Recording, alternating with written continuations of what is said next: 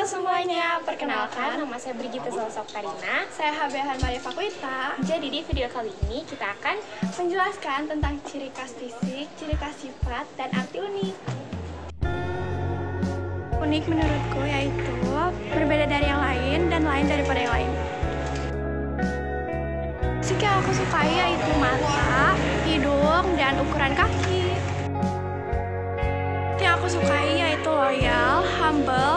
rapi, penyayang, dan ramah. Nah, unik menurut saya adalah ciri khas seseorang yang hanya dimiliki masing-masing orang. Fisik yang saya sukai adalah mata, rambut, dan juga tangan. Sifat yang saya sukai adalah ramah, dan saya adalah pendengar yang baik.